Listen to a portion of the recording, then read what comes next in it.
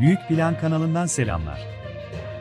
Türkiye ve dünyadaki önemli gelişmelerden haberdar olmak için kanalımıza abone olup bildirimleri açmayı unutmayınız.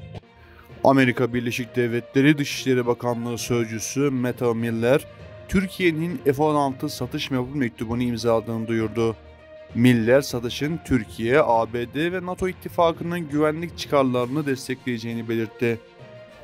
ABD Dışişleri Bakanlığı Sözcüsü Miller, Türkiye'nin ABD'den tedarik edeceği 40 adet F-16 Blok 70 savaş uçağı ve 79 adet modernizasyon kitine ilişkin yeni bir açıklama yaptı.